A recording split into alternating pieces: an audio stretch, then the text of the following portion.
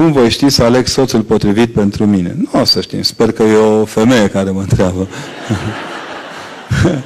uh, nu știm. Adevărul e că nu știm și uneori nu ne iese, dar prietenii mei care sunt mai bătrâni decât mine au reținut că anul trecut am spus că singurul joc de noroc acceptat de biserică e căsătorie.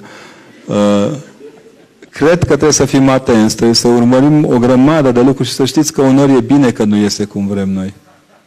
Ar fi plictisitoare să, să fim căsătoriți cu un om care la toate apăsările noastre de buton percutează exact cum vrem noi. Dușmanul căsătoriei nu e ura, e plictisul. Stau unul în capă de canapea, unul în celălalt, copiii au crescut. Televizorul merge. Dacă ar putea să aibă jumătate de ecran telenovele, jumate meciul de fotbal, nu cu Jiu Petroșan, ca e amintire, da?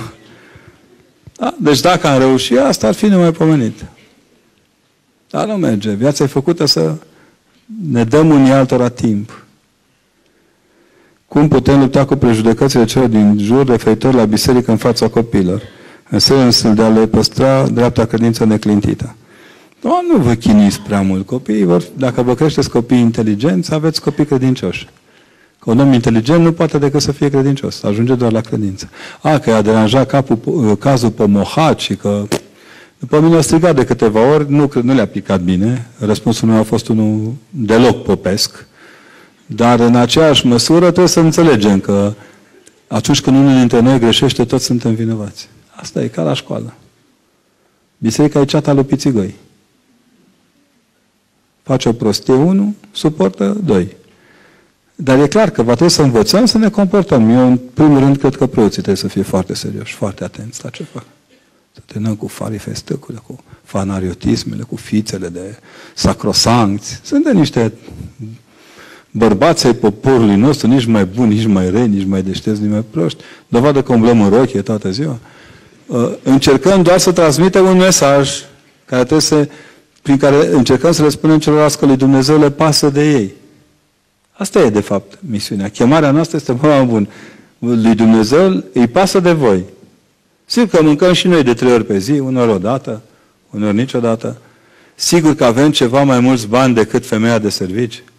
Sigur, dacă vreți să vedeți adevărul, uitați-vă la preoții dumneavoastră. Nu vă uitați la ce spun ăștia la televizor. Culmea care nici nu arată adevărul. Eu tot râd de vreo câțiva ani foarte bun. Uite, poate că e cazul să o zicem public. De ani de zile, când e vorba de mașina patriarhului, vă arată un, vă arată un Mercedes care nu i-a aparținut niciodată. Patriarhul nostru merge cu un microbuz, un Volkswagen.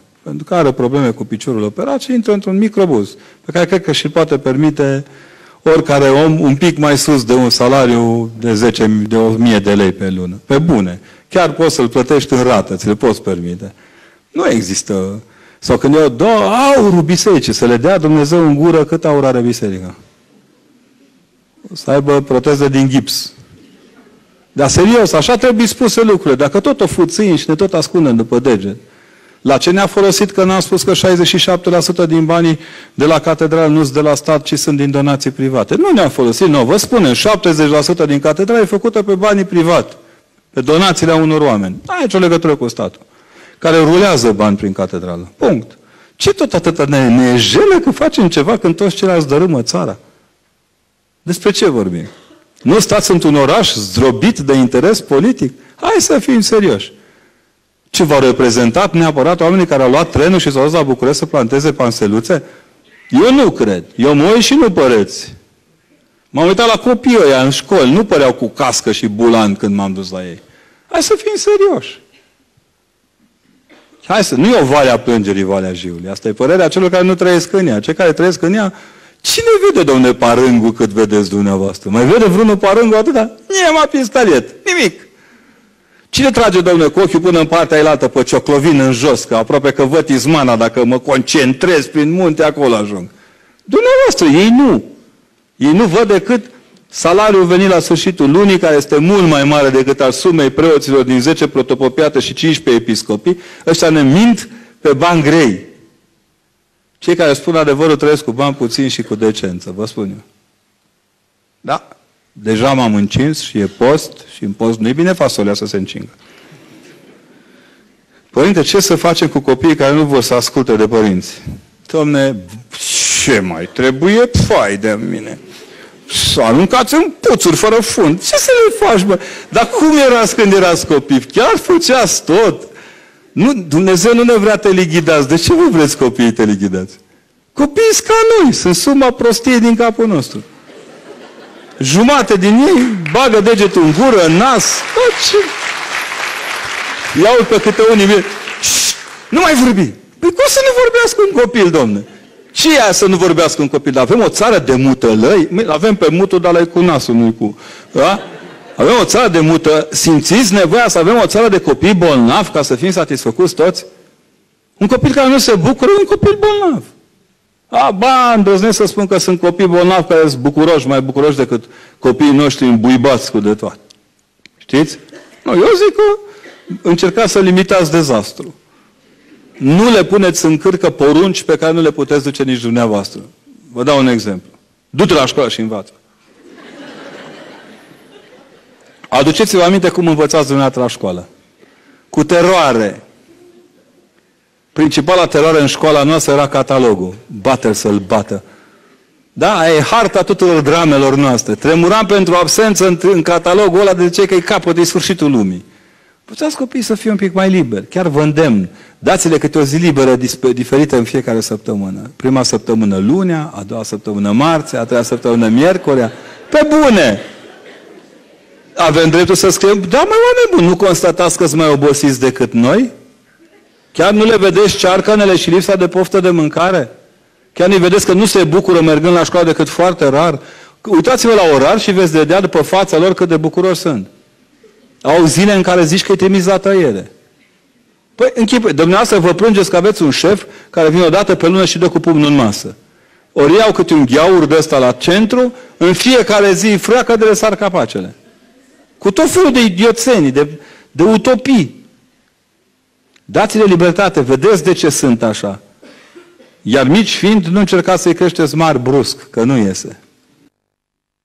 Este îngăduit să se căsătorească un sectar cu un ortodox? Un sectar cu un ortodox? Nu știu. Cred că nu. Și fiecare să țină religia lui, nu. Știți ce se întâmplă când non-credința se întâlnește cu credința? E un amestec extrem de periculos. E un molotov sufletesc. Se freacă toată ziua, se ceartă pe Scriptură. Scriptura nu e motiv de ceartă. E motiv de înțelepțire reciprocă, dar nu de ceartă. Am citit eu acolo și eu am citit partea aia. Dar am citit și eu am citit partea aia. Uneori nu citim cât ne lăudăm că am citit. Eu vă recomand, mai ales dacă e ortodox și sectar, chiar nu e îngăduit, da? De ce se plictisesc tinerii la biserică, la Sfânta Liturghie? Pentru că dormim pe noi. Eu i-am dat slavă lui Dumnezeu că m-am convertit după 20 de ani. Că altfel ce făceam eu 20 de ani în biserică? Dormeam, derupeam locul, că mai somnambul așa. Uh, cred că le trebuie tinerilor implicare, nu se mai vor mobile. Ce ne spun tinerii de vreo câțiva ani buni. Doamne, nu mai vrem să fim mobilă în biserică. Nu, nu ne place cum sunt părinții noștri când merg la biserică. Se pun acolo, să nu te ridici că te bat. Da? Se pun și stau așa. O dată. De două ori. Deci s-au săturat de ritualuri ieftine. Ei nu înțeleg ce se întâmplă acolo. E datoria preotului să explice dumnezeiasca liturghie. Să spună, bă, copii, bă, liturghia asta e o declarație de dragoste, Domne. Auzi ce frumos zice Părintele? Cu pace, Domne. Auzi, măi, la niciun aprozar din Petroșan nu găsești pace la chil ca la biserică. Mă, acolo, Domne, se dă.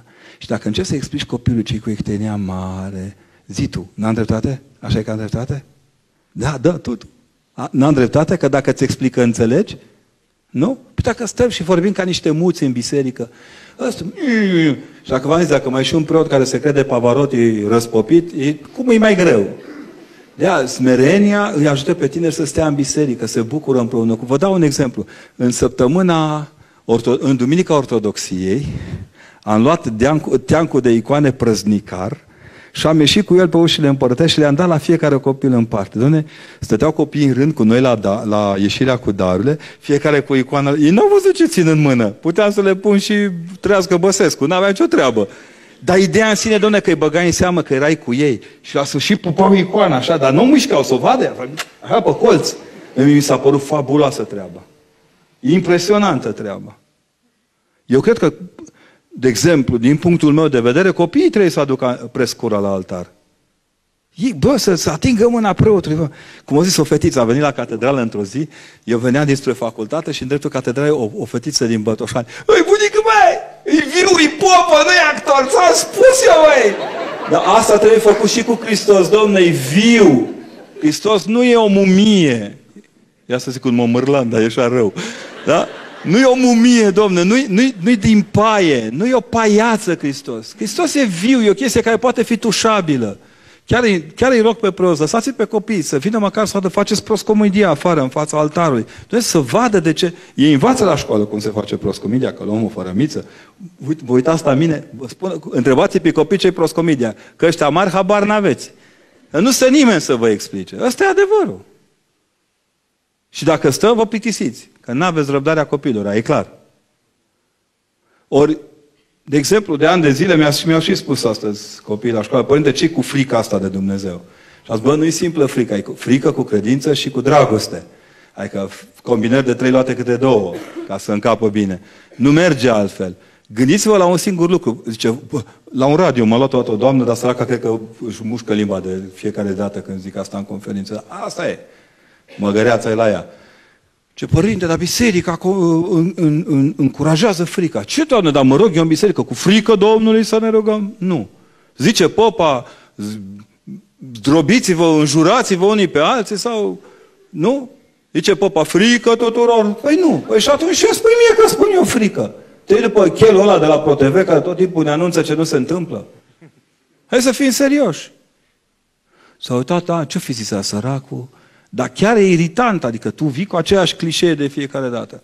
Ori copiii trebuie să vadă uh, smeria zâmbitoare a lui Hristos. Bă, mai fac și prostii, când dau pe jos, uh, mie îmi place la maslu. Fai, când împrăște uleiul prin catedrală, eu râd de mă, mă Și dacă mă umple de ulei pe toți aia și din lume, m-aș distra Rostul lor este să împrăște uleiul. Înțelegeți ideea? Nu să vină să se uite la ulei să nu înțeleagă nimic. Nu-i rostul unui copil să stea acolo băgat cu nasul în la ca o echipă de ruibi în care șefa, șefa uh, uh, atacului este mama Rada care aruncă cu proteza dacă nu ești cu mine în biserică. Fiind serioși. Unii susțin că trebuie să facem liturgia pentru copii. Nu cred că e corect. Copiii nu trebuie să aibă alt tratament în biserică. Trebuie pur și simplu să li se explice. Și e ok.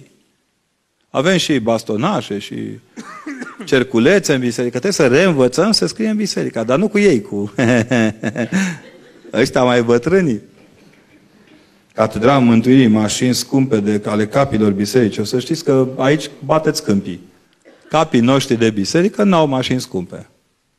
Cu o singură excepție pe care o cunosc personal și nu o comentez, a și luat-o pe coajă, ceilalți își păstrează mașini sigure și de bună durată.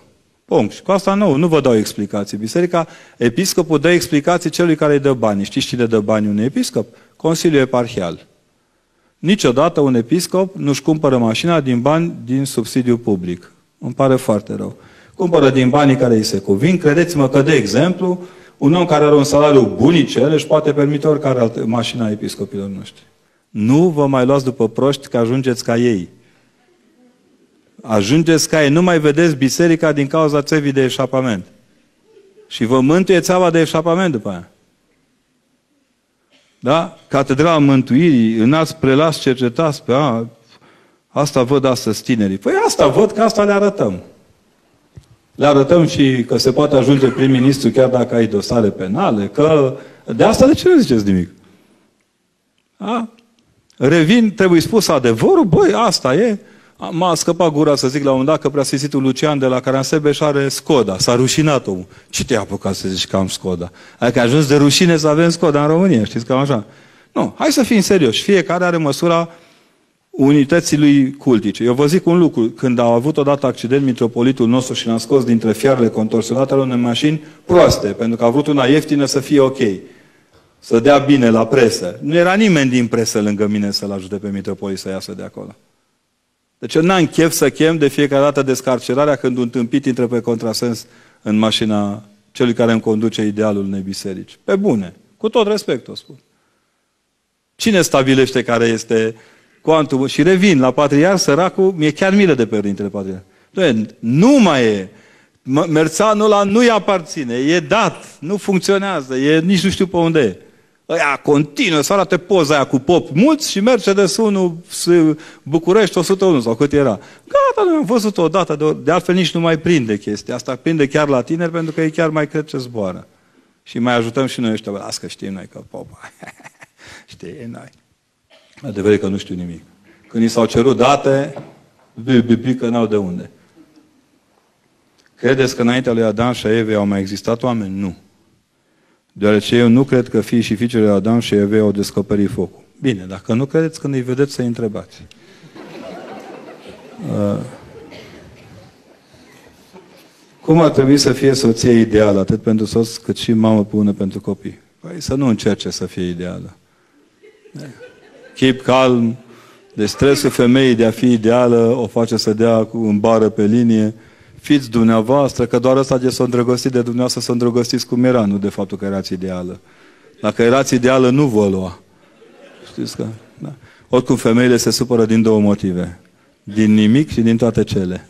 Da? De aceea, femeia ideală este să nu fie supărăcioasă cu orice preț. Femeia ideală nu ține neapărat să fie slăbuță, nu se obsedează de ce mănâncă, de ce respiră. Adică femeia ideală în niciun caz nu apare la televizor. E aia de acasă. Bine? Fiți cuminți. Femeia ideală miroase a ceapă prăjită, spală kilos, ciorapi. Serios. Ține capul bărbatului când vomită. Da. Știți, femeia ideală e aia reală, care există. Hălelalte să și le țină. Ce să faci cu Sharon Stone la Petroșani? Ce știe să facă aia? Nu. Credeți că știe să facă ciorba de barabule care o face muierea? Never, ever. N-are nicio treabă. Deci de aia, femeia ideală e cea pe care o iubești și pe care o protejezi ca, afară, ca a ta să se împlinească. Iar mama ideală e numai Maica Domnului. Celelalte încerc, încearcă să o ajungă din urmă și le iese. De foarte multe ori le iese. Nu vă faceți griji, nu vă mai descuraja singure. E chiar faină viața pe care o trăim. Dar atât că ne-au învățat unii să fim exigenți la lucruri la care nu trebuie să fim exigenți. Da. Investirea cu exigența unor locuri unde nu avem să fim exigenți. Cum să tratăm prietenii care ne-au abandonat în cele mai grele momente? Delete.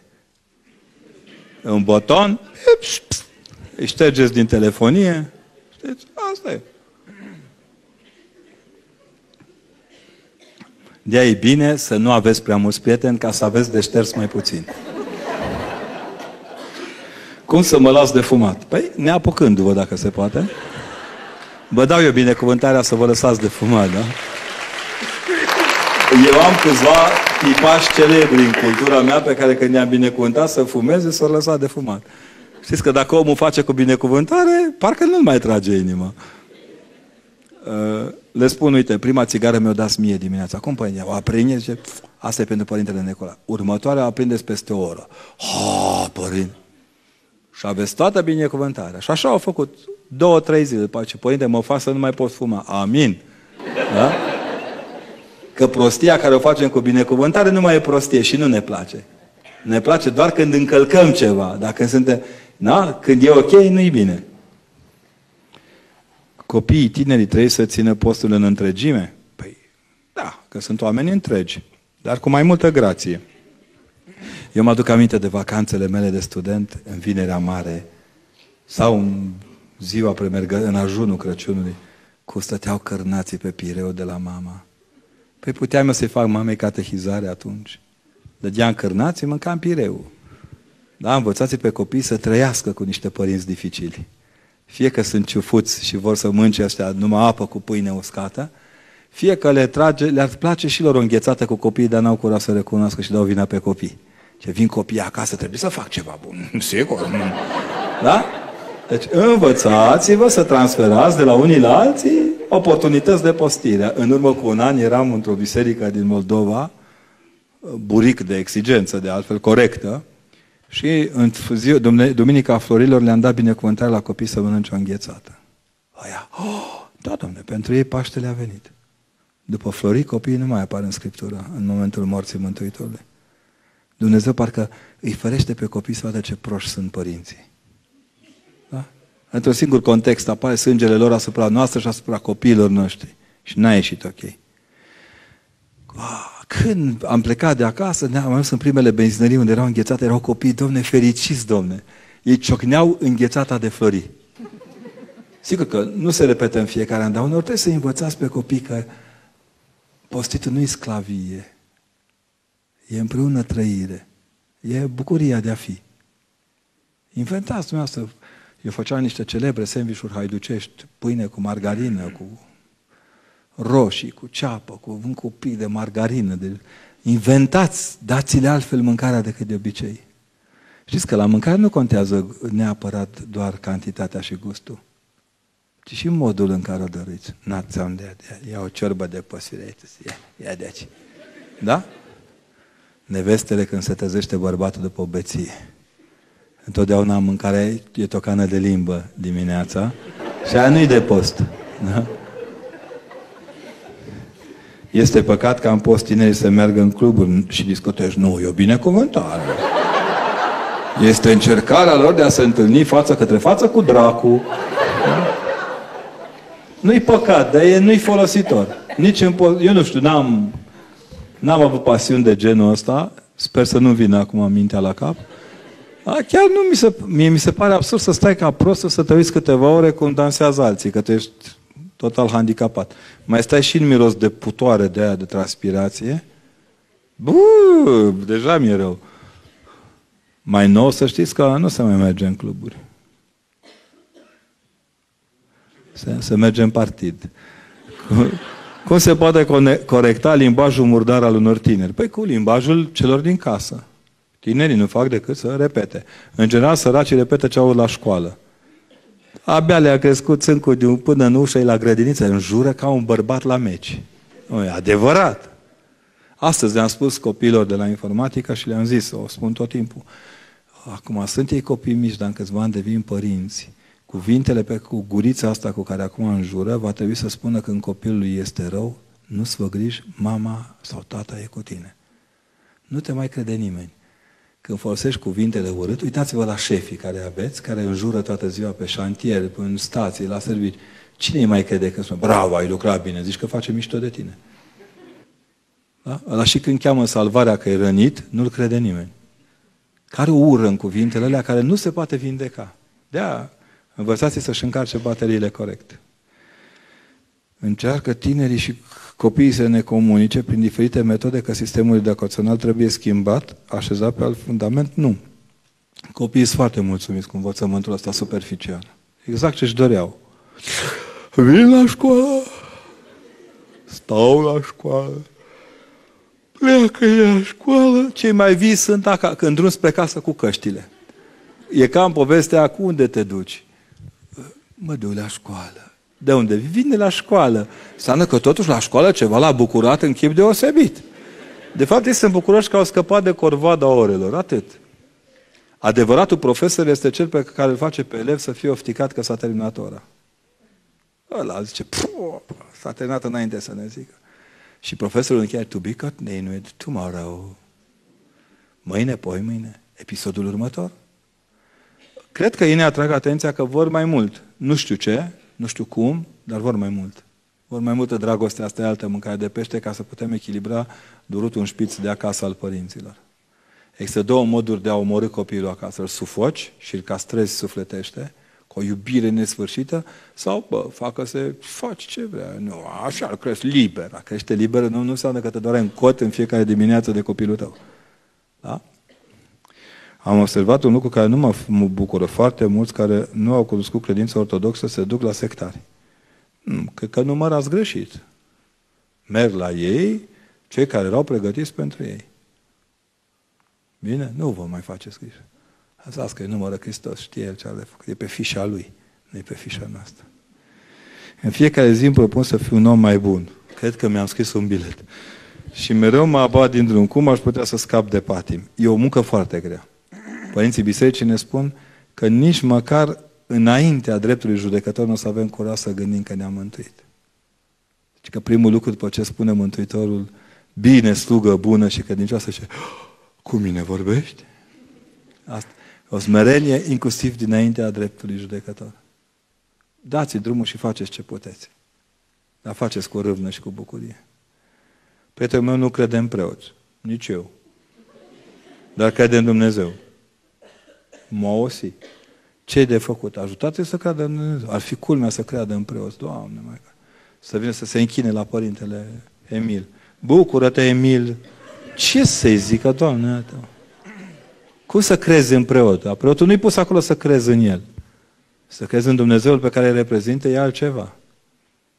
Știți cum e? Nimeni nu crede în uh, radar până când un reprezentant al posesorului radarului nu se dă jos și zice Give me. Șase luni. Zi mersi că nu ți-am luat volanul. Știți?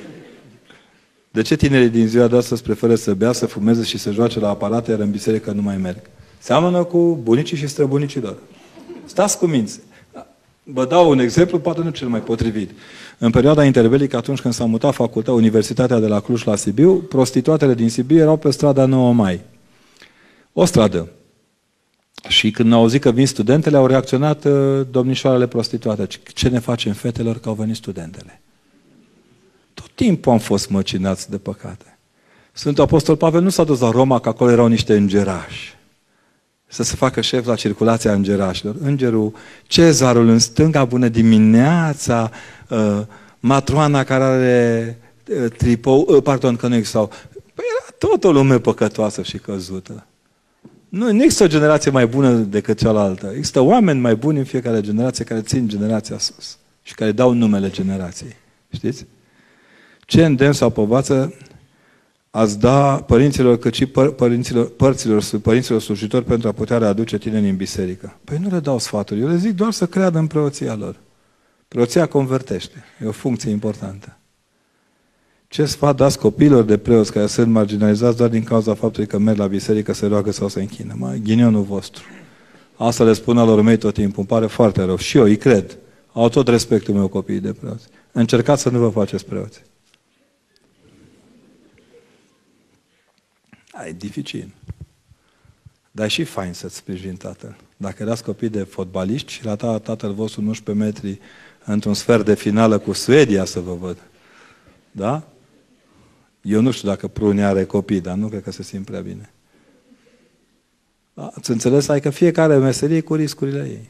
Cunosc un om care a lucrat foarte multă vreme în zona Cafnicului, acolo la minereul ăsta de neferoasă sau și la un dat a greșit 4 mm de... Știți bine care ați lucrat în, în mină, știți că 4 cm poate fi viața mii de oameni. Până.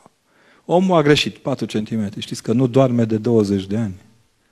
O, copiii lor credeți că se simt mai bine decât copiii preoților.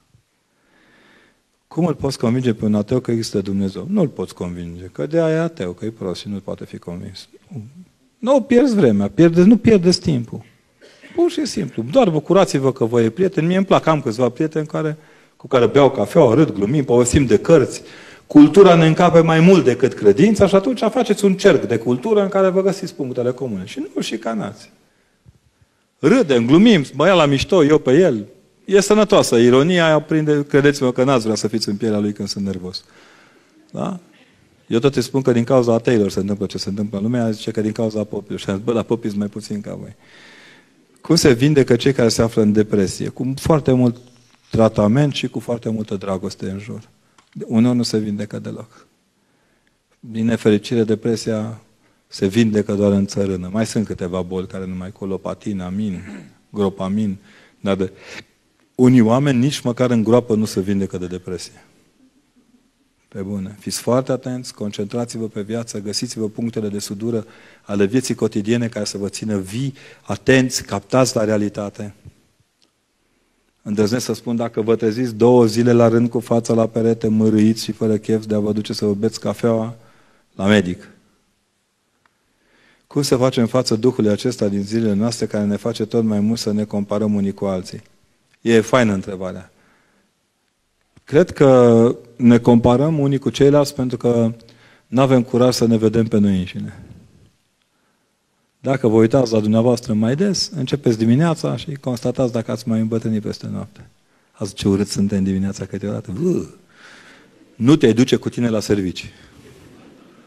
Ajunge un spălat bun pe față și deja suntem alți oameni. Comparația este un spălat cu apă rece pe față. Uneori face bine, alteori deloc. Nu vă mai temeți. Compariți, măcar de ați avea ce compara cu ceilalți. Biserica sau preoții sunt cei care încurajează fala în consecință. Da, da. În consecință, nașterea invidiei din partea semenilor în unele zone în țară în care pomenile pentru cei trecuți în neființă, biserica nu are trecuți în neființă, numai domnul președinte.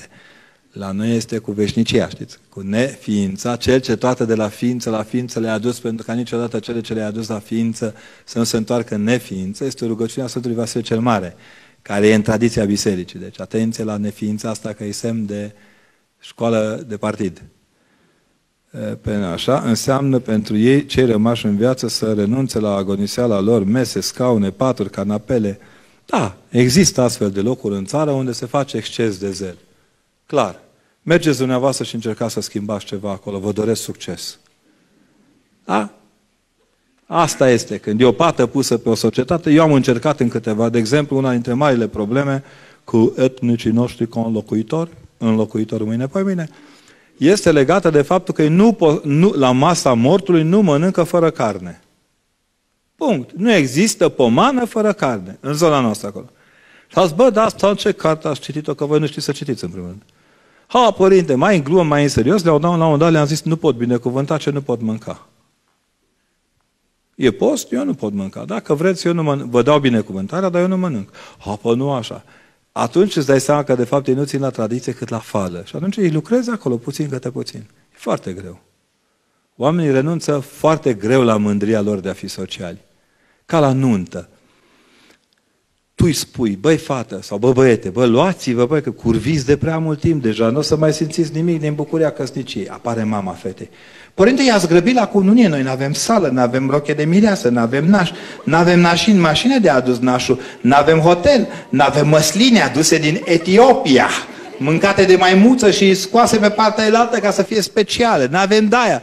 Și atunci o trebuie, fată, tu dumneata vrei să-ți măriți fata mireasă sau... Uh, sau da, zice, păi, vai, dar ce e asta? Păi ăsta e adevărul.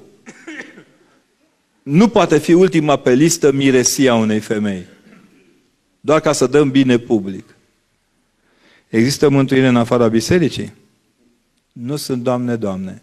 Personal cred că nu. Dumnezeu, în schimb, e mai deștept ca mine, clar. Ce trebuie să facem ca să ne mântuim? Să ținem aproape de Hristos. Ien, în, în, în Acatistul Mântuitor, spune, într-o traducere corectă, este mă țin de pulpana hainei tale. Nu vă desprindeți de pulpana hainei lui. Trebuie să ne fie frică de moarte. Cum vreți. Dacă vreți, da. Dacă nu, nu ni frică de dentist când am dau ochii cu moartea vai de capul nostru. Ni frică să nu rămânem cu cardul gol. Da. Ia închipuiți-vă o lună în care nu vă intră salariul și vă vin hârtiuțele amenințătoare. Când deschide, nu simțiți așa când deschideți poșta, ați vrea o scânteia mai bine. Da. Nu ne e frică de foarte multe lucruri, pentru că suntem, suntem dresați să ne fie frică de lucruri. Cum trebuie să procedăm cu copiii care nu vor să meargă la biserică? Nu îi le smulgeți mâna din număr duminică dimineața. Da? Nu-i târâți cu dumneavoastră la biserică. Le lăsați sandwich și o cană de lapte la căpătâi în camera lor și scrieți pe un bilet. Mami este la Sfânta Biserică, cu drag din partea ei pentru o duminică plăcută. Atât. Ce tot vârtiți atâta? Dar nici nu încăpeți toți în biserică. Unde vreți să mergeți toți? Copiii au grijă să nu vă sufocați. În loc să-i felicitați, trageți de ei. Dar dacă vedeți că o dată, de două, de trei ori și vi drag și vi simpatic popa, chemați-l, Doamne, să vorbească cu copilul acasă. Avem și slujbe pentru acasă. Sper să nu le amendeze prea tare preoții parohi. Da? Strângeți vreo șase, șapte ani până plătiți o seștanie acasă și... Cum să-i determinăm fără a obliga sau forța? Așa, cu competitiv, cu competența unei mame iubitoare sau unui tată iubitor. Pur și simplu, nu cred că e cazul să exagerați cu nimic. mă gândesc bine așa în viața mea, că tata meu zice, îmi zicea numai în joia mare, vinerea mare și sâmbătă noaptea.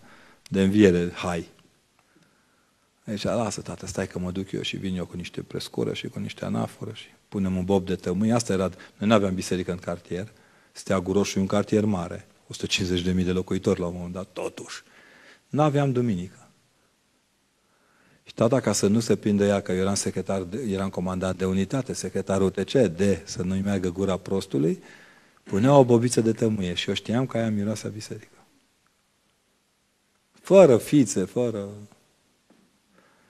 Cum ar trebui să acționăm să gestionăm stările de gelozie, de, de nesiguranță din cuplu, povestind un pic mai mult, încercând să nu intrați în baza de date a unul altuia și povestind mai mult, povestind mai mult. Cereți ceilalți să, vă, să se pună în valoare, lăudați-l, lăudați-l.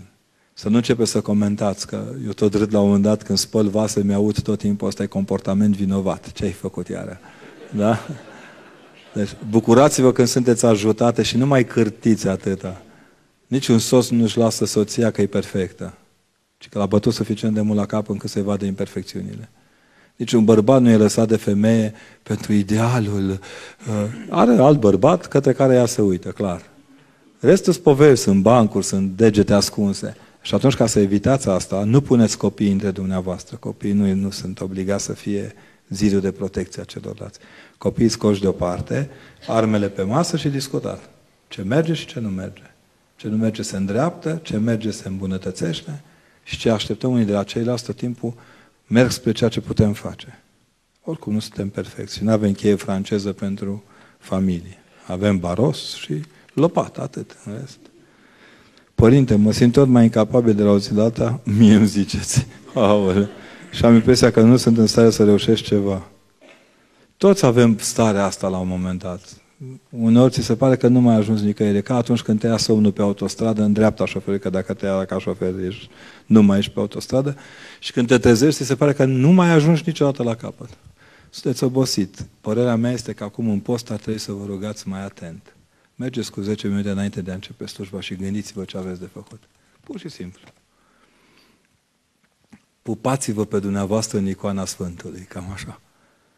Care este părerea noastră referitoare la divorțurile tot mai dese din ultima perioadă? Nu sunt mai dese, sunt mai guralive, dar nu sunt mai dese. Nu avem o țară pe, în stare de divorțialitate, avem o țară pe cale de dispariție. Da? Sunt clar că sunt făcute la viteză, sunt făcute fără, fără multă atenție, la plezneală multe dintre ele, care tot la plezneală ajung. Uh, cred că e un fenomen care ține un pic și de formalizarea vieții sociale. Țineți minte ce ne zic la căsătorie. Constatăm că formalitățile au fost îndeplinite, deci în mintea ta rămâne că formalitatea e îndeplinită, deci hai să o desplinim, punct. Da? Chiar m-am gândit dacă n-ar trebui să sugerez, nu, să le zică nenea, tanti de acolo, da, e o formalitate, dar nu e una obișnuită, e una pentru care ați jurat, vă trebuie martor, semnați un act, totuși. Ne-a pierdut seriozitatea ca oameni. Este ecumenismul o soluție pentru problemele omenirii? Nu. Problema pentru, soluția pentru problemele omenirii este doar Isus Hristos. Ecumenismul este o formă de colaborare între oameni pentru a putea să îi ajut pe ceilalți să se respecte mai mult. Atât. Din punctul meu de vedere, uh, bucuria mea mare cu ecumenismul este faptul că am putut să ajut oameni prin, prin ceilalți. Mult mai mult decât singur. Cât de aproape suntem de a doua venire și cum să ne pregătim. Cred că fixăm conferința data viitoare. Da? Nu știm noi astea. Dacă le-am ști, cum ați, de cum ați trăi dacă v-ar zice cineva că în 10 zile e sfârșitul lumii? Ar fi o bucurie, așa. Doamne, Dumnezeu este distins, e discret. El nu e tipul de la știri. Să vă facă să țățâiți. O știre extraordinar de importantă vom transmite pentru țară. Lăsați aparatele deschise.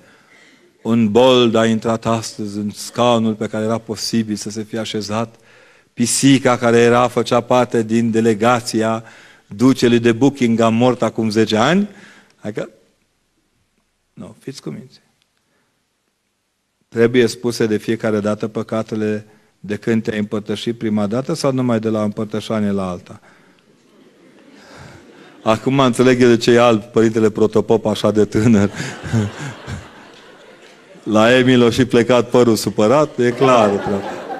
Of. Măi, oameni buni.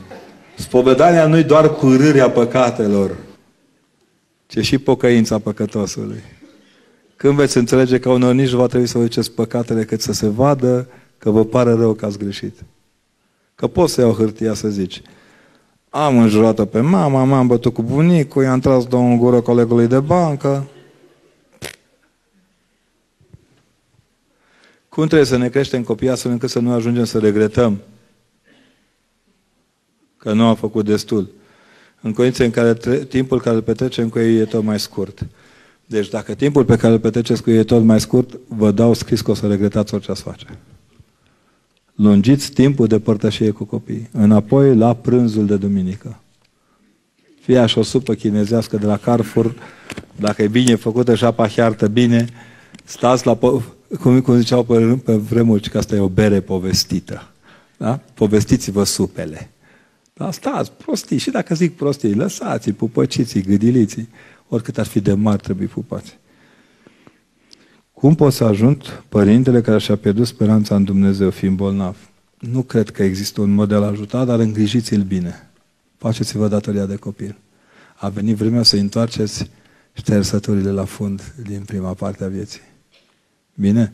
Fiți lângă el, arătați că nu vă e scârbă că sunt bolnavi, pupăciți gădiliții, aduceți-le ce le place mai bine să mănânce. Acum nu vă uitați că e post. Pentru omul bolnav nu-i post. Vor lapte de pasăre, lapte de pasăre să fie. Mai că m-aș da și eu bolnav. Nu vi s-a întâmplat să invidiați niciodată pe bolnavi? De ce nu invidiați pe bolnavi? Observați ce grea e viața? Era o doamnă care la un moment dat mai și o întăcăia săraca, are două picioare care nu ajută deloc. Suntem prieteni de ani de zile cu Tantiana și ea, săraca, într-o sâmbătă, era la liturghie, a slujit, am predicat. Egoul meu popesc era ridicat la rang de catapeteasmă. Mă gâdilam pe burtă de dracu care stătea în mine. Și la un moment dat, stând acolo bucuros, am și predicat, le-am văzut pe doamne convertite de-a dreptul la Domnul. Când termin slujba și ies prin biserică, o găsesc pe Tantiana lovită, cum era acolo, plânsă, avea grijă de ea Manu. Manu e o tipă care își spune ea sieși că-i țăcă. Adică nu tocmai cu toate biluțele de la rulment în funcțiune. Și de aia tipă fascinant. Asta era singura care s-a oprit să o ajute pe Tantiana, care vine și spune, știi ce am pățit cu astea? Ce ai pățit, Tantiana? Pe zice, urcam în grabă trepții, ca așa e la noi, trepții, da, la catedrală, la doi, la ora doi, să mâncăm crastraveți. Pe, pe, urcam pe trepți, m-am împiedicat și am căzut. Ea din cauza bolii nu-și poate regla picioarele singură, trebuie ridicată și ajutată. Și când stăteam căzută pe acolo, trec astea de la astea convertitele care mă făcuseră pe mine să mă cred așa un fel de Jesus life. Știți? Zice, la un moment dat zice, și ce s-au zis femeie? Ce lasă băi acolo, că asta are două pensii, băi. Și asta săraca a ridicat toiagele alea cârje și că, bă, de astea două, nu le vreți? Vedeți, nimeni nu vă invidiază la boală, că nimeni nu va lua boala. Clar. Sunt așa. Sunt mama a doi băieți școliți cu profesii așa, nu înțeleg nimic din ce le spun eu și soțul despre biserică. Nu postesc. Mm. Nu merg la biserică. Mm. Nu se spovedesc. Ce trebuie să facem? Să-i căsătoriți repede. O să aibă alt Dumnezeu care o să-i crească mai departe. Dacă sunt căsătoriți, grijă la nurori. Da? Știți că bărbatul se crede Dumnezeu până se însoară și află cine e adevăratul Dumnezeu. da? Mai în glumă, mai în serios. Trebuie să iubești ca să poți înțelege că iubirea nu e doar ce mănânci, ce bei și ce privești, ci un pic mai mult. Mă lupt cu patima de sfrâului, un sfat. Dați cu patima de pământ. Deci ascultați-mă, e cel mai nenorocit drac din câți există. Clar. Clar măcar de beție mai scap că mori. Dar de desfrâu riști să nu scap nici mort. roadele desfrului tău să rămână în ceilalți de după tine. E foarte urât. Rugați-vă, căutați un duhovnic bun, părâți-vă la Dumnezeu și luați-o de la capăt. Vă rog frumos să ne spuneți câteva cuvinte despre copiii speciale, autiști, copii indigo, copii curcubeu. Pe copii nu e în și la mine copiii sunt copii. Da. Mă doare sufletul când îi văd și să știți că îmi sunt dragi ca ochii din cap. Aș prefera să mor eu, dar să trăiască ei. Serios, am și spus unei mămici, mamă, dacă tu crezi că moartea mea îți ajută copilul, eu sunt gata să mor. Sunt semnele de exclamație prin care umblă Dumnezeu prin lume, clar. Acum măcar ne-am mai obișnuit să ne uităm cu drag la ei, dar înainte eram chiar un popor de oameni tâmpiți. Cum le spun ei mamelor, păcatele tale la făcut.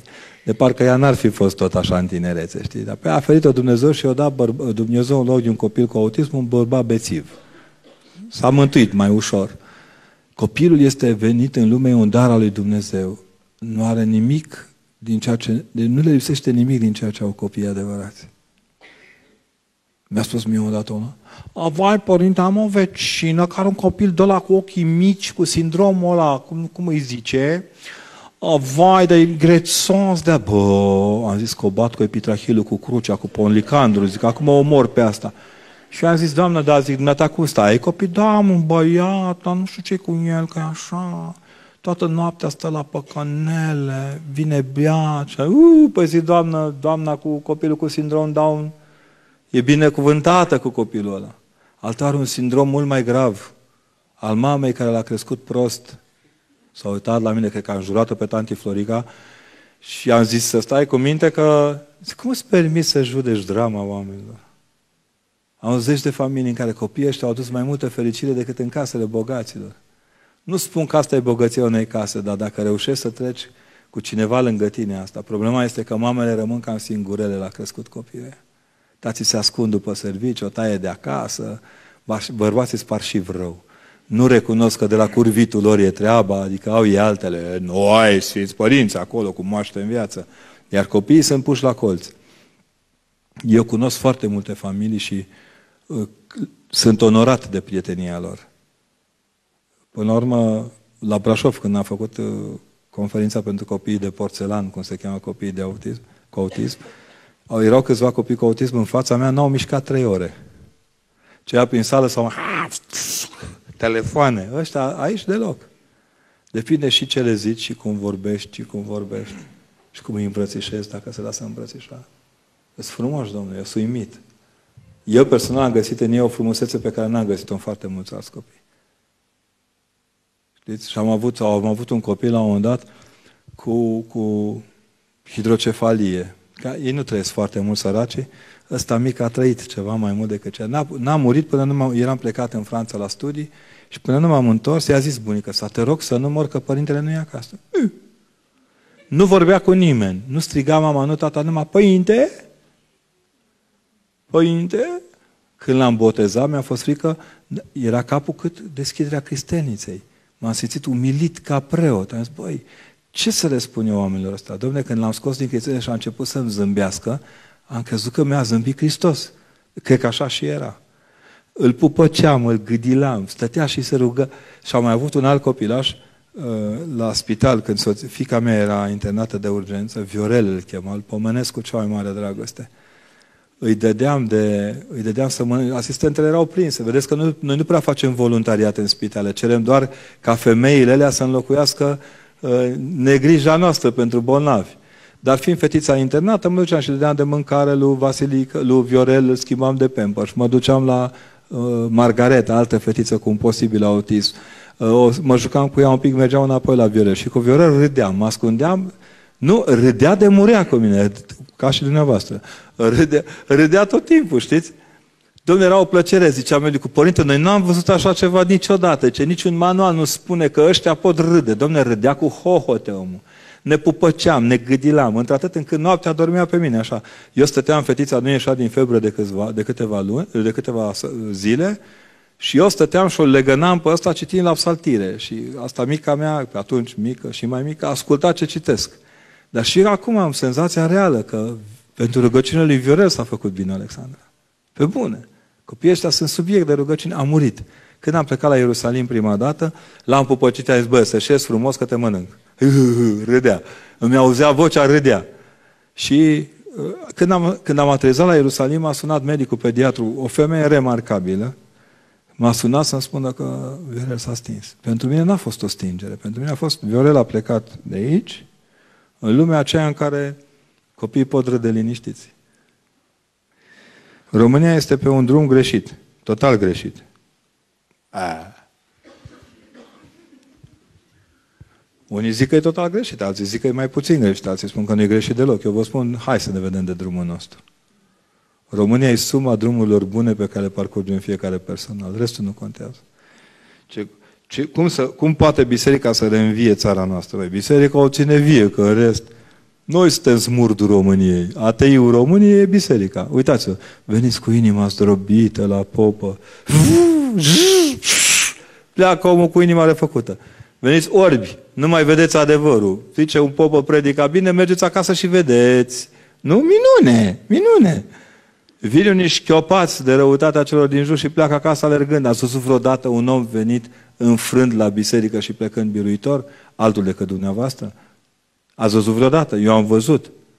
Am venit oameni care s-au au venit târându-se sufletește în biserică și plecând ca un cerb la adăpat în vârful muntelui, cu viteză ieșită din comun. Biserica asta face de ani de zile.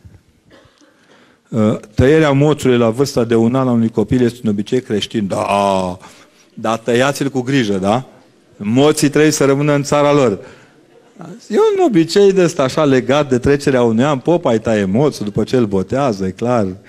Este așa, prilej de mâncare și băutură. Dar ce motiv la un an de la botez să ai? În loc de tedeum, tai moțul și gata. Grijă la tăiat, da? Mie place faza cu alesul. Adevărat că eu am ales un pix, o cruce, o că tata credea că o să ajung frizer. Așa, într-un fel sunt frizer, că tai copiii la botez, nu? Nu, fiți cuminți. Cum aș putea să nu judec pe cei din familie care au preferat să devină martori lui Jehova după o viață dedicată trup și suflet lui Hristos? S-au smintit din ceva, nu fiți supărați. Au și ei încercarea lor. E ca și cum ai cădea de la facultate la grădiniță, la grupa zero și începi să înveți să faci pipi iarăși pe uliță. Exact asta e. Lăsați Când încep să vorbească, vă ridicați și plecați, că vă smintesc. Eu sunt supărat pe ei că nu văd adevărul, da? În rest, mă rog, sunt prilej de rugăciune. Oamenii ăștia sunt subiect de rugăciune. Cum să nu mai fac grijă în legătură cu ce crede lumea despre mine și să am puterea să fac ce simt? Încercăm să vedeți dacă ce simțiți e corect. Și după aceea, chiar nu va, după ce simțiți că ce simțiți e corect, chiar nu mai contează ce zice lumea, că oricum veți face. Bine? Aveți, dacă simțiți lucruri care nu sunt uh, în Evanghelie, cum să crezi că nu crezi? Păi să crezi ca atunci cum ai crede, când ai credea. Da? Nu e greu. Sunteți de acord că mai mari biserici se cred Dumnezei pe pământ? Unii dintre ei, amuiată la sfârșit. E și greu să nu te crezi uneori în calitate de preot sau de episcop Dumnezeu pe pământ, că toată lumea te laudă, încearcă să te atingă, vine și te pupă. Sunt și ei oameni ca toți ceilalți, dar în general să știți că sunt niște tipi foarte realiști. Eu sunt foarte încântat de biserică, în ciuda aceasta ce se aude. Fără glumă. Sunt chiar faini. Și țin țara asta. Sunt oameni care nici nu cunosc care este episcopilor. Ei ne spun cu ce circulă episcopii, dar nu știu unde e episcopia. Ia întrebați pe ce stradă de episcopia de vei?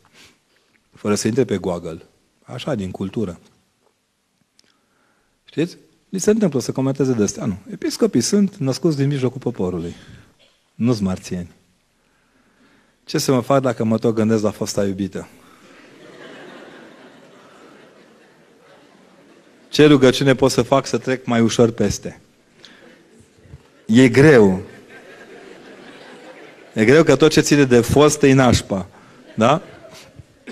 Încercați să gândiți la ce ați greșit în raport cu fosta iubită ca să nu greșiți și cu viitoarea. Da? Știți că e dezlegarea care vă dezleagă de fosta iubită? Când ea se mărită cu cealaltă și zice, popa, sunt cu una robul lui Dumnezeu, cu roaba lui Dumnezeu și e gata. Acolo e. Încercați să înțelegeți.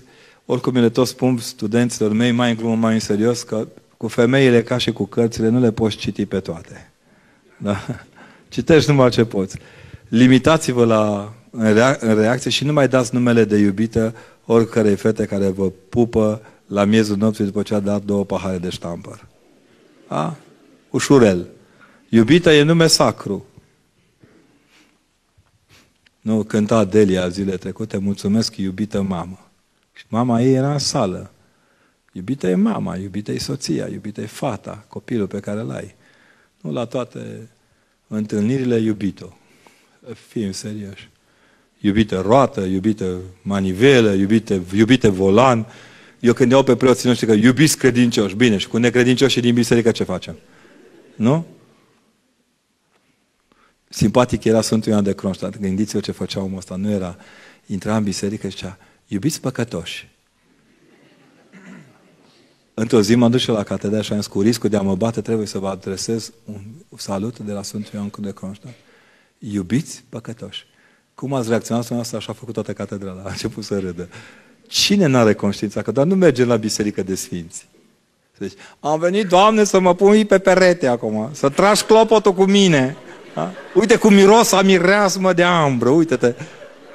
Nu toți mergem la biserică că suntem păcătoși. Ce spuneți de cei care se spovedesc odată și se împărtășesc luni de zile cu aceea spovedanie? E greșeala celui care îi împărtășește, nu a lor. Se poate întâmpla ca o spovedanie să facă și minunea asta mai multor împărtășanie. Totul depinde de șeful de potir, care cum se împacă, facă-se voia ta din Tatăl nostru cu libertatea omului. Omul care nu cunoaște voia lui Dumnezeu nu e liber, e un papagal cu fițe. Atât. Deci omul liber este omul care supune voia lui, voia lui Dumnezeu, pentru că voia lui Dumnezeu este să-l facă sfânt. Nu vreți să vă faceți sfinți? Faceți-vă voia. Și iată. Nu e simplu. Cum ce să fac să-i aduc pe prietenii mei în biserică? O bere după liturghie. Serios, o bere după liturghie face mai mult decât să-i luați la bătaie în târg. Aveam un prieten foarte bun la un liceu industrial, un copil cu, cu un handicap așa foarte interesant, talentat tare la desen. El nu era foarte ortodox, nici el nu era convins de ortodoxie, dar era nervos pe colegii lui că sunt mai proști ca el. Făcea, bă, voi sunteți stâmpiți, bă. Hai mă, măcar să mergem să vedem ce e la biserică. La cașă. Hai mă, Aurele, lasă-ne în pace cu asta. Bă, dar măcar vedem acolo o țără, bă, și bă, plecăm. Nu, bă, hai că dau o bere, gata, mergem. Da? Și de la berea aia s-a făcut cel, unul dintre cele mai frumoase grupuri corale de, de băieți care le-am auzit vreodată cântând. Serios, uneori v-ați mira. Eram undeva la Turceni și am auzit că e pe Valea Jiului Turceniu. Uh, nu l-au furat chiar tot, au furat numai ce au vrut.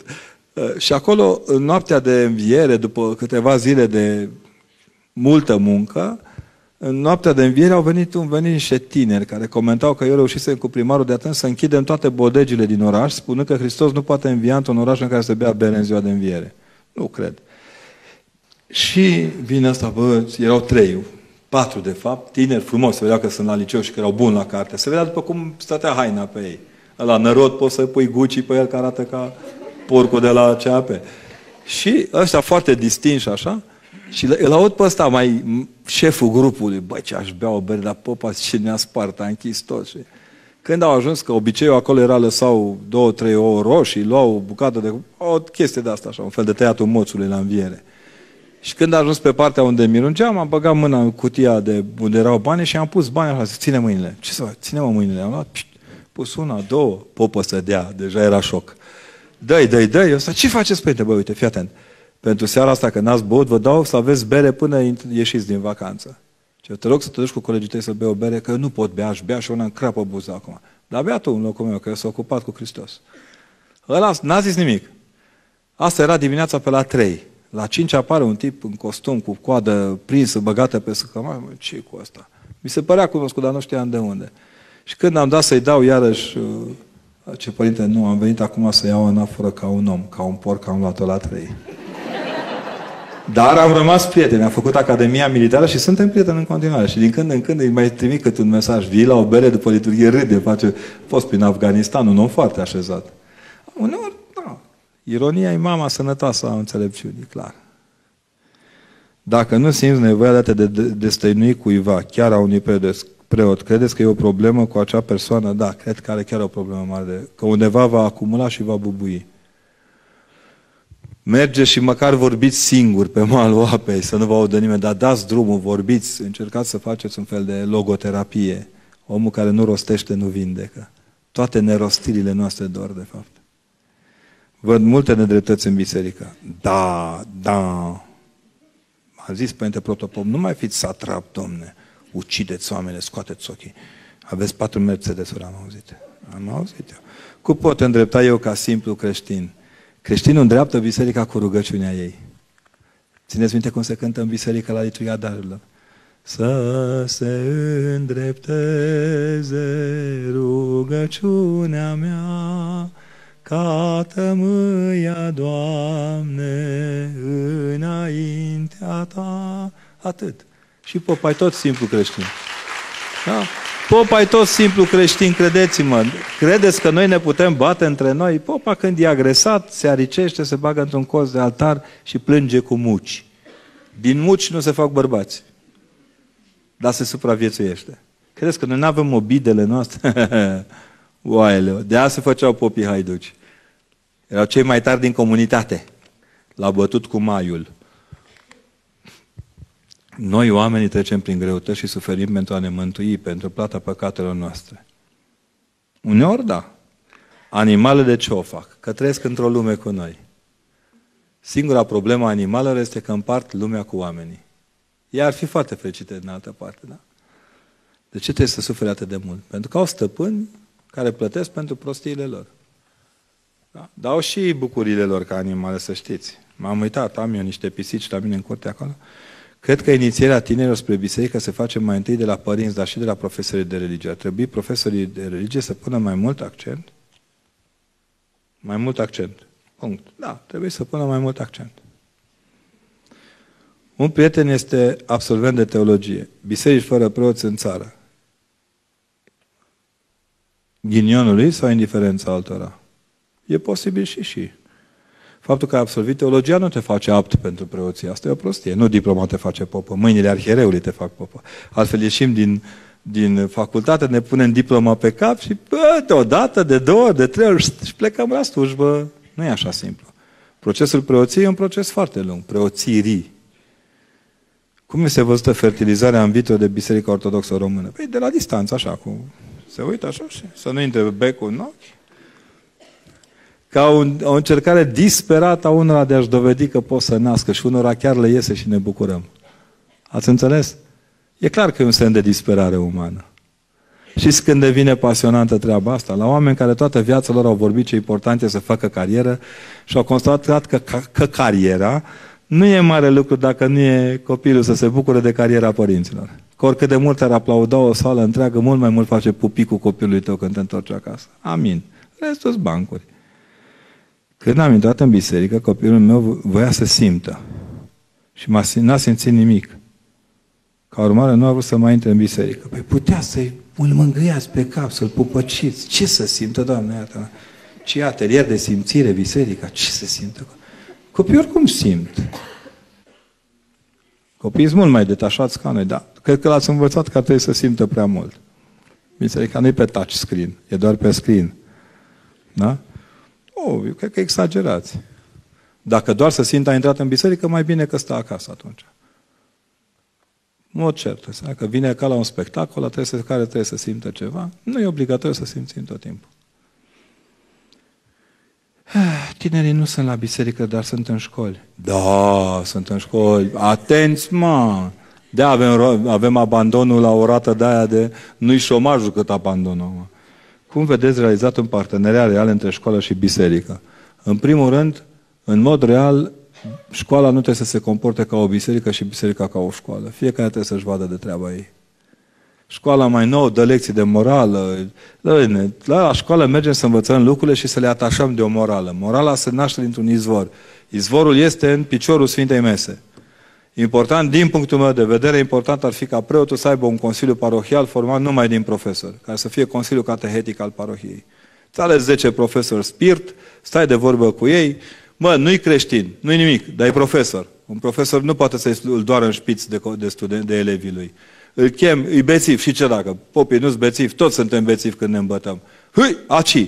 Îi strângi pe toți care sunt talentați în funcția lor și îți spui, bă, voi cum vedeți treaba asta? Și biserica vine și spune, de azi începând, parohia noastră oferă 10 burse de 10 milioane de lei pe lună pentru 10 copii săraci. De unde o să vă întrebați? De la dumneavoastră. Da? Îi strângem, ne zbatem, vindem tot. Împărțim săracilor. Dar să avem ce vinde. M-a întrebat unul la Canasebeș. N-ar trebui biserica să-și vândă pădurile și după ce își vinde pădurile să facă catedrala mântuirii. Acum să nu, dar n-ar fi mai bine să împroprietărim biserica să nu vindem ceva ce nu ne aparține? Adică la noi nu-i problema că nu știm să vindem, problema că nu avem ce, că nu ne-am împroprietărit. Am dat numai la Biserica Romano-Catolică de limbă maghiară Fundus Regius, munții Harghitei în întregime. Și exploatează băieții ăștia cu patru litere în partid, care totdeauna dau lecții de moralitate, de cultură civică și îi fură, fură ca o toxină sănătatea omului. N-ai ce o treabă. Ca ai noștri, că ăștia care sunt cei mai de, de neprețuit, sunt de neprețuit, că au furat de-au spart. Au furat de-au rupt. Nu ai cum să ai, domnule, o proprietate de câteva sute de hectare vânzând uh, gume de mestecat căzute din tren. Ai furat de undeva, că nu ești tu geniu economic al României, că te făceau ăștia mai mult decât ministru, te lăsau înțepenit director acolo. Noi tot mințim, uitați-vă și în oraș, că sunt convins că îi vedeți pe hoți, că miroase de la distanță. Pe din afară vopsit gardul, pe dinăuntru banul public făcut uh, jartea. Deci cred că asta trebuie să facem și eu cred că profesorii Preotul nu este de nea venit în școală. El trebuie să meargă des, să vorbească cu colegii, cu copiii, copiii să nu se sperie că vine tipul cu barbă și rochie, să le dea cât un tort din partea parohiei copiilor care au ziua de naștere, să știe despre ce e vorba, să joace, domnule, un ping-pong cu ei, un fotbal. Știu că asta nu e canonic, Dumnezeu să mă ierte, dar poate mai aplicăm și canonul întâi Vlad Țepeș, că trebuie să muncim mai altfel decât înainte, că nu avem ce face. Scoși copiii la un film fain, dat o pizza sănătoasă, sunt mii de lucruri în care poți tușa copiii, că ei vor să simtă, nu asta era. Dacă simt miros de pizza după liturghie, toți zic, jup, lipit așa. Și nu în ultimul rând, să nu uitați că sunteți biserică. Școala nu e altceva decât biserică. Cum e privit divorțul în ochii bisericii? Păi uitați-vă în ochii bisericii când vorbiți că ea și vedeți ce zice biserica. O doare. Biserica e rănită când oamenii se despart. Bine, acum, nici să stea în căsătorie doar pentru că vine femeia, o bate măgarul de o rupe și ea zice, stau că au nevoie copiii de tată. Bă, dacă e măgar, nu-i tată. Da? Deci să ne înțelegem bine. Unul care își bate nevasta, vine beat tot timpul, la factor de stres, nu e tată pentru copii. La ei se face ușor, forma de plecare, valizuca, papucei, se schimbă iala și se cheamă poliția, clar. Cu condiția polițistul să nu fie verișor primar cu dumnealui, să-l ajute să te bată și că ai încercat să-i obstrucționezi intrarea în spate. Trebuie să schimbăm legea, în primul rând. Legea trebuie schimbată și nu schimbată, aplicată. Morțile ultimilor femei în România ne arată cât suntem de perverși în a aplica legea.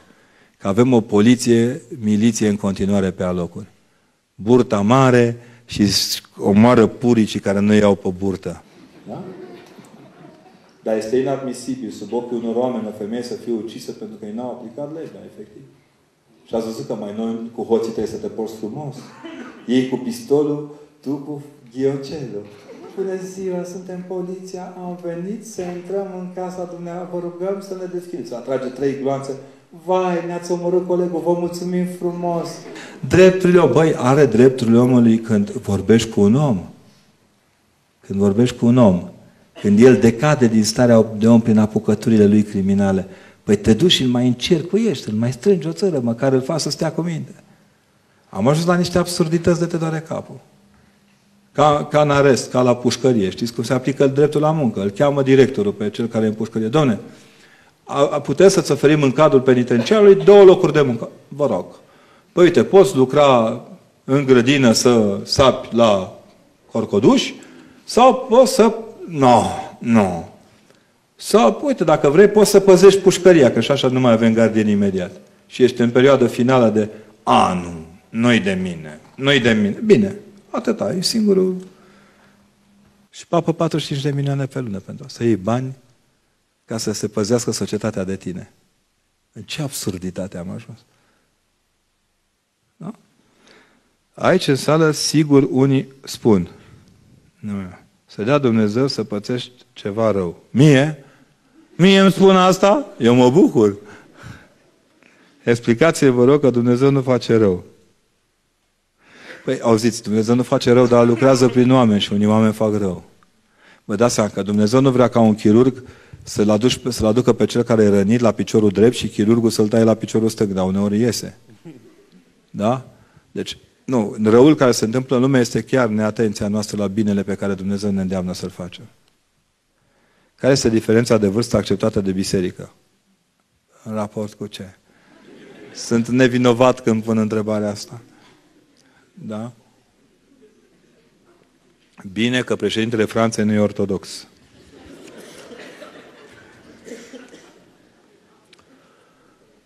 Diferența de vârstă acceptată de biserică este 10 ani. Cu foarte, foarte mare greutate 12. Dar nu mai mult. Trebuie să-i spunem lui... lui dar trece cală la, la catolicism, ca să fie sincer. Cum ne putem apropia de Dumnezeu? Cum îi putem ajuta pe ceilalți să se apropie? Uh, să vă spun, de Dumnezeu asta cu apropiatul de Dumnezeu e părerea noastră. De fapt, Dumnezeu nu pleacă niciodată de lângă noi. Deci vă rog eu mult. Întindeți mâna cât de puțin că e acolo. Știți de ce? Că Dumnezeu este ambițios tare. El locuiește în noi. El e noi. Noi nu suntem El, dar El e noi. De asta și întrupat. Bine, deci fără fițe, fără. De ce Biserica Ortodoxă? Să o întrebăm. O să o întrebăm acum. Biserica nu se implică mai mult în misiunea de evangelizare publică. În oraș, în diferite locuri publice. Să mă iertați, dar sunt încă membru al Bisericii Ortodoxe. Da? Da, biserica se implică. Se implică. Mi-a zis, mi-a scris după ce la Târgu Mureș a fost o conferință cu 3000 de oameni în sală. Mi-a scris un prieten că, Părinte, până acum îi invidiam pe neoprotestanți, domne, cum umplu ei sălile cu oameni. Acum nu-i mai invidiez. Am văzut că se poate și la noi. Păi doar faceți, că dacă vreți, e chiar ok. Oricum, biserica noastră știți că e în spațiu public. Noi nu avem ca alții case de rugăciune ascunse prin dosurile altor case. Noi le avem publice. La dumneavoastră, dacă greșește la sensul la giratoriu, dacă se poate numi sens giratoriu, că încă nu m-am lămurit, Păi pe bune. Cine e proiectantul la luat trebuie să învețe. Stânga, dreapta. Acum nu pot intra două mașini, că sensul giratoriu presupune că sunt două mașini. Aha, nimic. La primul sens giratoriu trebuie să stai, să treacă toată patrula poliției, pompieri, miliție, salvare, de dimineață până seara.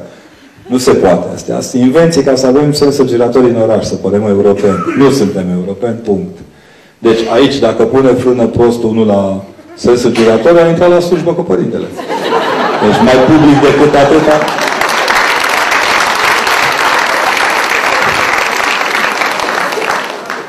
că părerea personală și cea a bisericii referitoare la muzica rock, rap și altele. Biserica Ortodoxă nu are canoane cu privire la muzica rock și rap, nici la celelalte. Eu personal, dacă e de calitate, o ascult cu plăcere. Dar să știți că n-am constatat foarte multă muzică de calitate în ultima vreme. Pare rău să vă spun. Oh. Cum știm că am iertat cu adevărat pe cineva? Nu știu. Până la prima ocazie când putem să-i facem rău și nu-i facem. De câteva săptămâni m-am macină și am spus la toate conferințele, știți cum mă zgârie pe creier o propoziție de la Nicolae Stein, de la Părintele Nicolae Stein. Cel mai greu îi iertăm pe cei cărora le-am greșit. Cel mai greu îi iertăm pe cei cărora le-am greșit. Știți că s-ar putea să fiți de aia neiertători cu Biserica Ortodoxă? Simțiți că greșiți. Și de aia sunteți mai virulenți. Ceea ce nu e rău.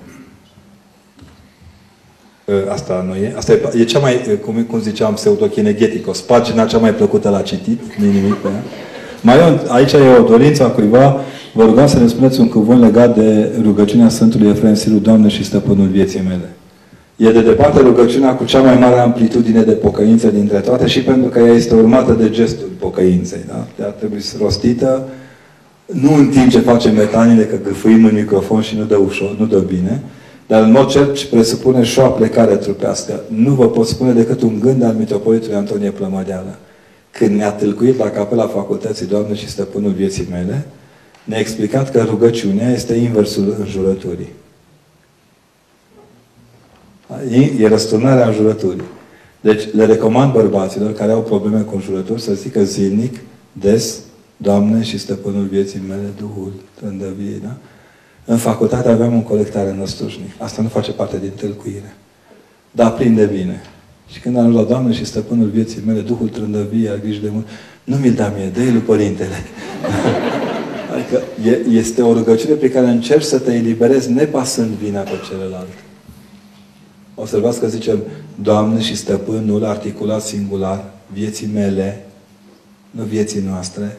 La Catistul Mântuitorului mai schimbăm câteodată. Bucură-te, Iisuse, da? Mântuitorule, și zicem, acolo punem noastre în loc de am ieșit de la tine, ieși în întâmpinarea noastră, când de fapt ieși în întâmpinarea mea.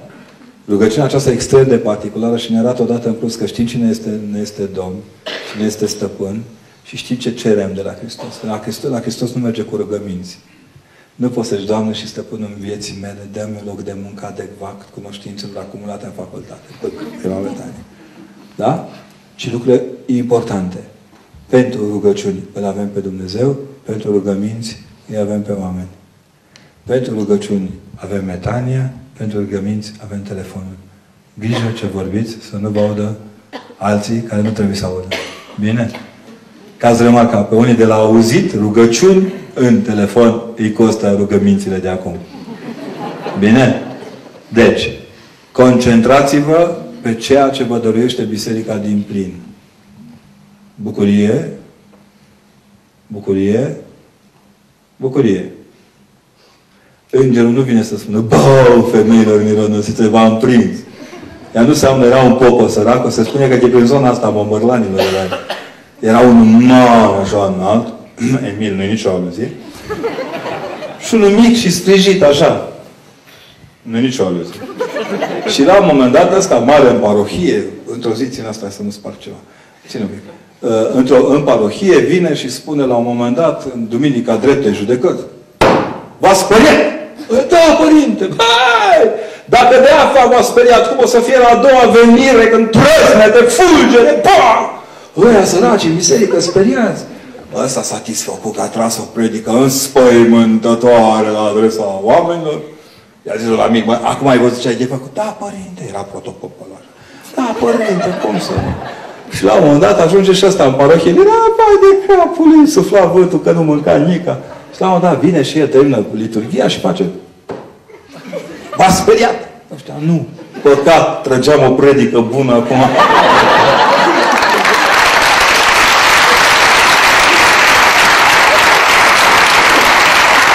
Nu vă spăgântați de biserică, nu e cel mai mare bau-bau, bine? Încercați să trăiți ortodoxia iertând-o. Dați dumneavoastră ce lipsește bisericii. Simțiți că ne lipsește preoțul bunul simț, avem nevoie de bunul simț al dumneavoastră. Simțiți că ne lipsește orientarea în managementul uh, aplicațiilor sociale, veniți și propuneți. Nimeni nu o să stea cu spatele la dumneavoastră. Și vă mai vând un pont gratis. Uh, aveți totuși un vlădică tânăr, un episcop tânăr, care e inteligent, din care afară de inteligent pastoral. Credeți-mă că a făcut ce nu au făcut mulți pentru zona asta în sute de ani. Oamenii care v-au exploatat nu v-au dat nimic înapoi. Omul ăsta a venit fără să exploateze și de totul. Prețuiți ce aveți. Nu fiți neatenți la harul pe care vi l-a dat Hristos. Și stați alături, unii lângă ceilalți. Nu vă mai uitați la confesiuni. Încercați să gândiți. Am trecut mult, am văzut zona cu biserică catolică, cu tare, cu tare. Măi, oameni buni, în Petroșani, oamenii sunt ori oameni, ori nu sunt deloc. Dinozaurii aveți încă în pământ, îi mai scoateți din când în când și ardeți. Rămâneți oameni. Dați-vă mâna, bucurați-vă de ce puteți face împreună. Știți că asistența socială nu are confesionalitate. Omul sărac nu are confesiune. Numai la, la spital e muribund de la și întreabă ce ne o dumneavoastră, vă spuneți săracul în lumea celor care nu cuvântă de mult. Încercați să înțelegeți că o mână întinsă la timp pe pământ înseamnă să nu jocoriți mâinile întinse pe crucea lui Hristos. Într-o comunitate din Franța, și pe asta încheiem, ne bat autorul ăștia, moderatorii, am simțit eu. Într-o, într comunitate din Franța, la un moment dat, avioanele americane care binecuvântaseră cu niște bombe Parisul, s-au întors înapoi către Marsilia și între ce au trecut peste Clermont-Ferrand, o regiune frumoasă, un fel de ardeal al francezilor. Și undeva în zonă de munte au zis ei în siguranță, au lansat niște bombe. Băi, le-au lansat în siguranță, dar au ras câteva vieți. Că americanii întotdeauna au mici greșeli așa la victime. Și au lovit și o biserică în care, căzând bomba, a căzut peste o statuie din lemn de mahon din secolul III, superbă, cu Mântuitorul Hristos care binecuvânta cu două brațe. Puh, ăștia supărați. Au curățat ei tot, văd, dar n-au găsit pe nimeni să repare mâinile statuii. Rămăsese Hristos ciung de amândouă mâinile. Ce să facă ăștia triști? Au chemat specialiști, au chemat sculptori, nimic, nu se băga nimeni. Au restaurat biserica până au pus, că nu e greu să pui acoperișul și să pui pietre. E greu să restabilești uh, sfinții din biserică. Nu. Statuia părea sortită eșecului cultic. Și azi așa, mâine așa, s-au vorbit preoții între ei. Dau nicio șansă de nicăieri. Americanii, băi, vă facem una din metal, bă. Stați așa că ăștia supărați, oamenii au lăsat în plata lor și se rugau la statuia așa fără mâini cum era și zicea, Doamne, ajută-ne doar, spune-ne cum să facem să-ți reîncadrăm statuia asta în, în bucuria noastră. Într-o dimineață, doamna care făcea curățenie în biserică, s-a uitat la statuia, a făcut ochii mari și o tras clopotul repede. Monsieur Cure, parohul, a fost disperat. Ce s-a întâmplat? Ce s-a întâmplat? Și am primit răspunsul la cum să montăm mâinile lui Hristos. Oh, nu se poate, se strânge toată comunitatea, oameni de vlavioși, de munte, acum mai știți că ca aici, așa acolo. Și m-am întrebat ce, păi, ce, când s-a uitat jos, pe postamentul statuii scria, fiți voi mâinile mele. Fiți voi mâinile mele. Mulțumesc!